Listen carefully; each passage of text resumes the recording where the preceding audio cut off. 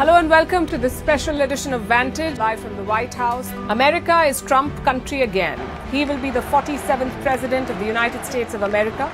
They're live from the White House, soon to be the new residence of Donald Trump. It was also here that Donald Trump brokered the Abraham Accords. So the voters have a legitimate question in their minds. If those presidents could do it, why not Joe Biden? The Arab voters want to punish the Democrats for supporting Israel.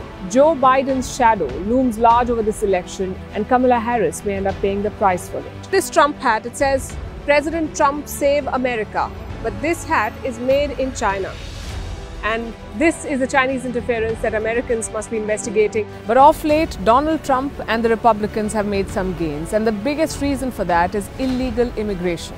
This is more than just a march, they say. This is a demand for accountability. The excitement, the tension is palpable. You can see the security presence, you can see the number of police cars, government buildings like these again, again fenced up. We're at Howard University, the alma mater of Kamala Harris. As the night progressed, uh, numbers came in thick and fast, and Donald Trump was soon declared the winner. It's being called a historic comeback. Another American presidency will begin.